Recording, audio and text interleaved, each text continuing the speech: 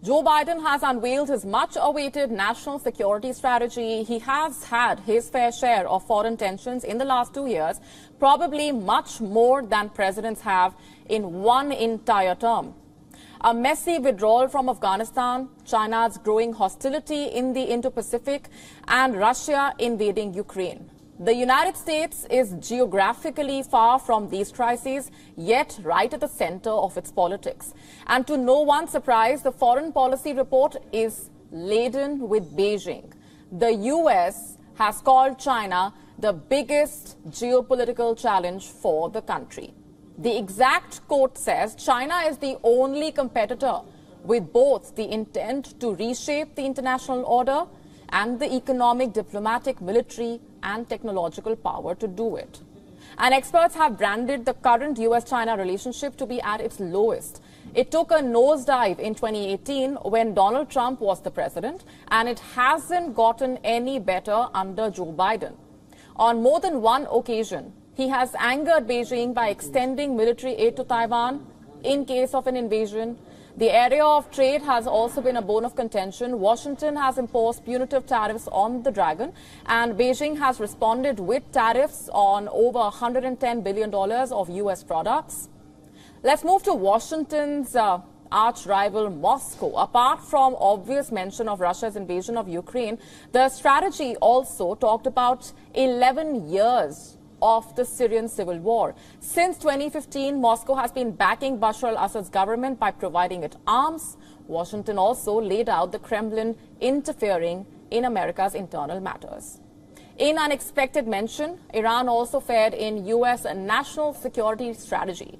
Washington referred to Tehran as a small autocratic power acting aggressively. From the stalled 2015 nuclear deal to Iran's influence in West Asia, the Biden administration is preparing for other means if diplomacy fails.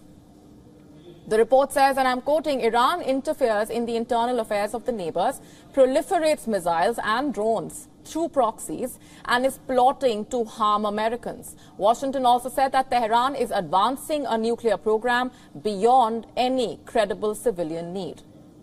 Over to India now. Washington has called New Delhi its key partner. The Biden administration wants to continue working with its Indian counterpart and highlighted the two countries' shared view for a free and open Indo-Pacific. To achieve this and Xi Jinping wants reunification with Taiwan and he's made it very clear during his two terms as Chinese president.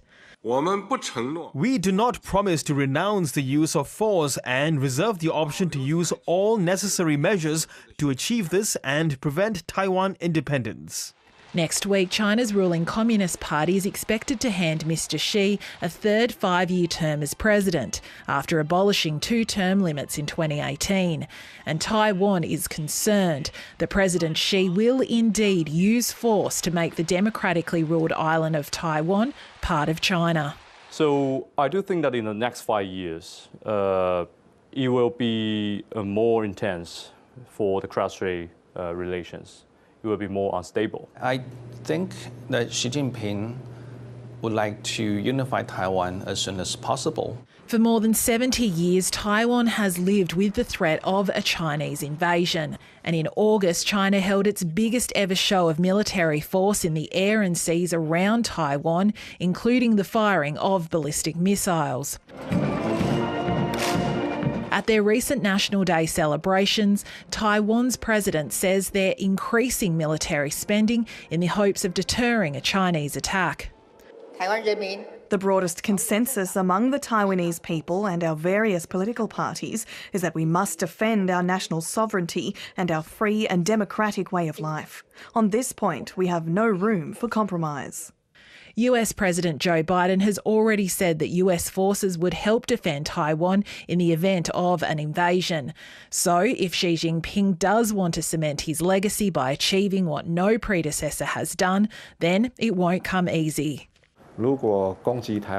If the attack on Taiwan fails, it would be a very big political disaster for the CCP. Taiwan is easy to defend and hard to attack, so I think that in the near future Xi Jinping will be a bit calmer after securing his third term, but in the long term, of course, he will want to occupy Taiwan. In the meantime, Taiwan is preparing, hoping to prevent what is happening in Ukraine from happening across the Taiwan Strait. Talia Olatia, ABC North Korea fired a ballistic missile toward the sea and flew warplanes near the border with South Korea, further raising tensions between those two countries. It was North Korea's 15th missile launch since it resumed its, acti- uh, its testing last month. In response, South Korea today imposed unilateral sanctions on the North for the first time in five years. Hey, thanks for watching our YouTube channel. Find your favorite recipe US is upping its efforts to protect its citizens from the impact of any radiological and nuclear emergencies. The US Health Department is purchasing a drug that treats blood cell injuries caused due to acute radiation syndrome in adult and pediatric patients. The uh, drug called Nplate is being purchased from California based company called Amgen Nplate treats acute radiation syndrome, which is also known as radiation sickness. It occurs when a person is exposed to a high dose of penetrating radiation. ARS can lead to uncontrolled and life threatening bleeding. Nplate is also approved for patients with blood disorder that results in low platelet counts. Repurposing of the drugs for acute radiation syndrome helps to sustain their availability. Amgen has developed Nplate along with Biomedical Advanced Research and Development Authority, a part of the HHS administration for strategic preparedness and response. The money for purchases of this drug comes from the $290 million designated funding under the Project BioShield.